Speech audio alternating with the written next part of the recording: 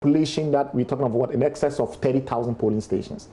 When you do your sampling, we look at your confidence interval, we look at your p-values, etc., etc., in order to be able to make statistical conclusions.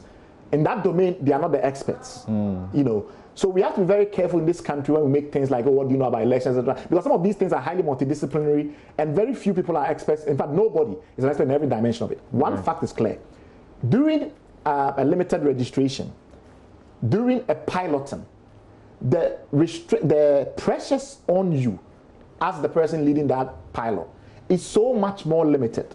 The variety of conditions that could arise is so much more limited that elementary probability theory should expect that you get almost no glitches. Mm.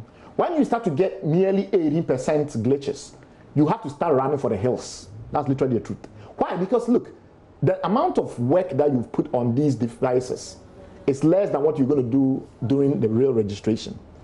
Two, the amount of um, pressure that you're going to be putting on um, electoral officers, which will lead to mistakes, is far less. Three, the degree to which the political parties are going to step up their vigilance to challenge every voter who comes in and they, don't, they think they, they're not the right person, to do all manner of things will all slow things down. Mm.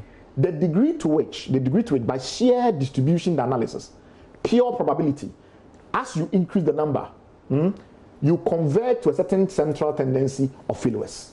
And so once we start to know what is that rough mean, what is that rough average, we can predict that you're going to have at least 15% failure rate mm. at in polling stations. Okay. When you're talking of 30,000, mm. mm, 30,000, you're talking of almost 5,000 flashpoints.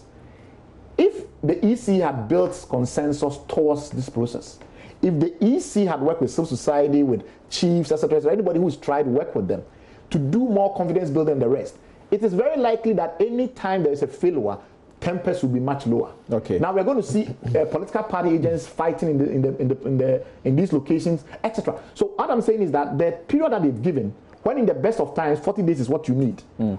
Now the, we're in the worst of times. Mm. You cannot use 40 days. Right. Period. Let's look at this issue and then I'll bring in uh, Mr. Abotsi because uh, he will help us to also deal with